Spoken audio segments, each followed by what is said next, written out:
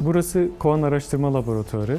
Ee, e, Bilgisayar mühendisliğine bağlı e, bir laboratuvarız. Üç öğretim üyesi tarafından e, farklı ulusal ve uluslararası kaynaklar tarafından desteklenen projelerin yürütüldüğü bir laboratuvarız. Genelde üç başlık altında çalışmalarımızı yürütüyoruz.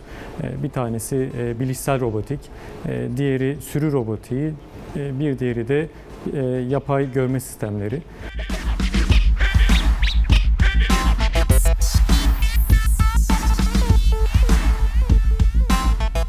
Bilgisayar robotikte e, birkaç tane insansız robot ile e, insansız robotlara çevrelerini nasıl algılayabileceklerini, yeteneklerini nasıl geliştirebileceklerini, nesne kavramlarını nasıl oluşturabileceklerini öğretmeye çalışıyoruz.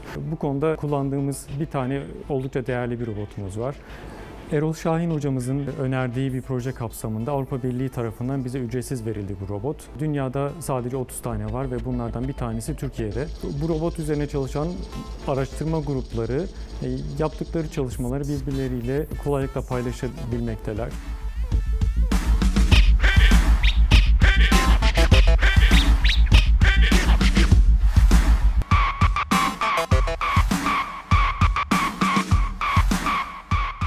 Diğer çalışma konumuz sürü robotiği. Doğada kuş, balık, karınca gibi sürü halinde hareket eden canlılarda gözlenen koordineli hareketleri robotlarda nasıl kullanabiliriz? Ee, Üzerine çalıştığımız bir alan. Mesela 20-30 tane bir robotu belli bir alana bıraktığınız zaman birbirlerine ve nesnelere çarpmadan hedefe nasıl en kısa bir şekilde ulaşabilirler? Bunu çalışıyoruz. Bu yöntemleri geliştirirken doğadaki canlıların davranışlarından faydalanabiliyoruz. Üçüncü başlıkta da yapay görme sistemleri üzerine çalışıyoruz.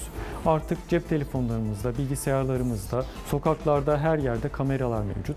Acaba bilgisayarlara bağladığımız bu kameralardan gelen görüntüyü bilgisayarlar bizim çevreyi algıladığımız gibi algılayabilir mi? Bunun için neler yapabiliriz üzerine çalışıyoruz.